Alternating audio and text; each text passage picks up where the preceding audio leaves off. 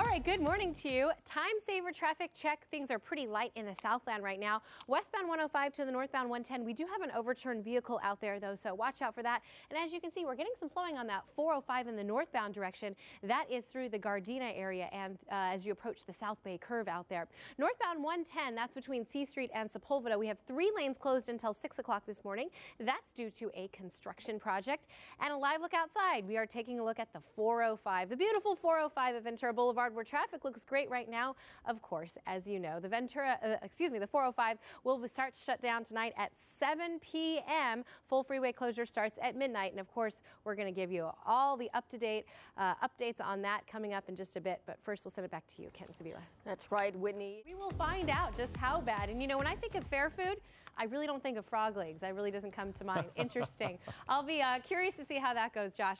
All right, overturned vehicles is the name of the game this morning. We have three of them in three different spots. Westbound 105 to the northbound 110 has middle lanes blocked due to that overturned car out there. Make sure you guys are uh, driving safely and watching your speeds. Another overturned vehicle on the northbound 405 at Centinela, and that has lanes blocked as well. And the westbound 10 just past Bundy, another overturned vehicle there, and that has lanes blocked. And right now we are getting some slowing on that southbound 405, and that is through the Sepulveda Pass.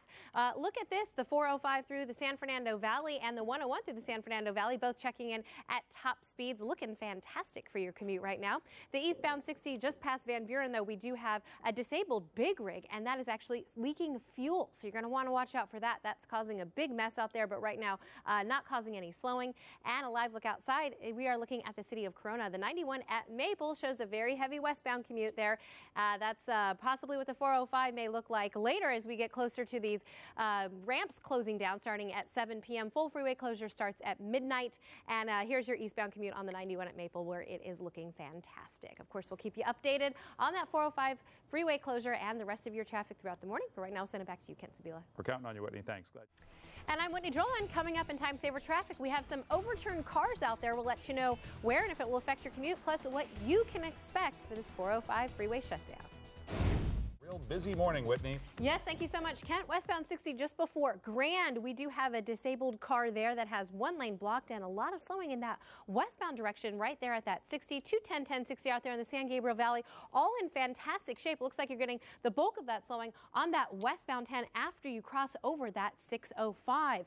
Also, as you can see, westbound 10 just past Bundy, we have one lane blocked there due to a crash, so watch out for that. And we are seeing a lot of slowing out there as well. And the westbound 105 to the northbound 110. Two lanes blocked there due to an overturned vehicle as well. So it's been pretty busy out there on the roadways. Of course, as you know, the 405, it's going to shut down starting tonight. Now, if you're in your car, KNX 1070 will offer continuous coverage of the 405 freeway closure.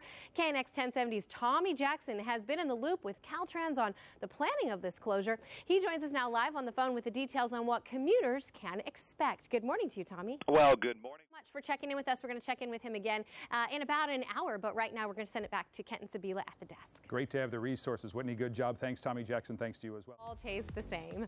Uh, hope you have fun out there. And you know what? Not going to be fun tonight when the 405 is shut down, but for right now, traffic not looking too bad in the Southland. We do have a couple things to let you know about. First, the westbound 60 before Grand. We do have a lane blocked there due to a disabled car.